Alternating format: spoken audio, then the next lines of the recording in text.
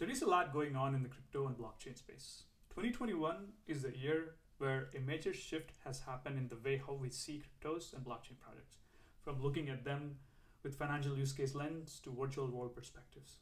It is fair to say that Facebook's announcement of Meta and its efforts in creating metaverse, similar to the ones that we saw in the movie Ready Player One, has significantly boosted this shift. While we haven't even scratched the surface of the metaverse and its untested applications, NFTs are creating waves in the mainstream artwork. Nike, Adidas, NBA, Disney has already started testing the waters of NFTs. To understand the NFTs technically better, we need to understand how blockchain and Web 3.0 works. I will save these topics for another video, but in this video, I'll take a shot at explaining NFTs in plain simple terms. NFTs stand for non-fungible token. Let's break it down and figure out first what fungibility is. By definition, fungibility is the ability of an asset to be exchanged or substituted with a similar asset of the same value.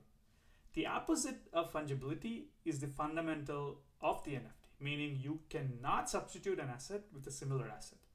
This brings up the concept of rarity anything which is available in less numbers are obviously usually expensive to acquire.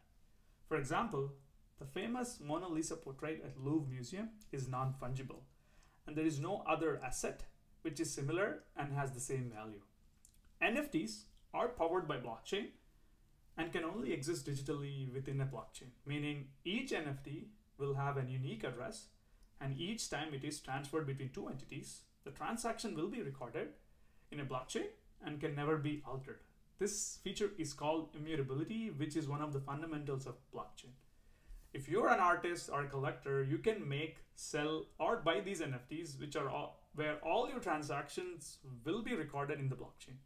From whom you bought, for how much you bought it for, thereby you can prove the authenticity and the ownership of NFT. You might be asking by now that you can simply go online and download these images for free.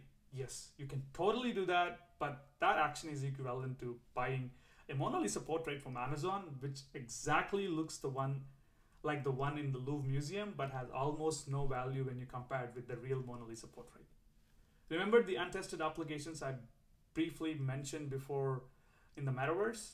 Other projects like Decentraland, Sandbox Game, etc., are also working along the same lines where they are creating these virtual worlds in which you can buy land, buy virtual real estates, and place your NFTs and collectibles for various commercial reasons and purposes.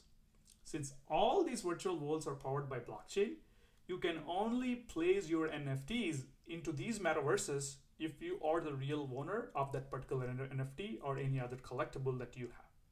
A simpler explanation would be we buy Fortnite skins to be used in the game but we cannot use these skins in a real world. Just apply the same logic into the NFT. In fact, some games as of today are selling these skins and rare items in the form of NFTs where you can use them in the game.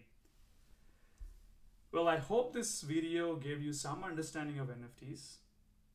In my future videos, I'll try to show you how and where you can buy and sell NFTs. And I'll try to get into some more technical in my future videos as well. I put a lot of effort in understanding these things and explaining them in plain simple terms. So would, it would be really, really encouraging to me if you consider subscribing my channel. I hope you like this video and I'll see you in another video. Until then, have a good one.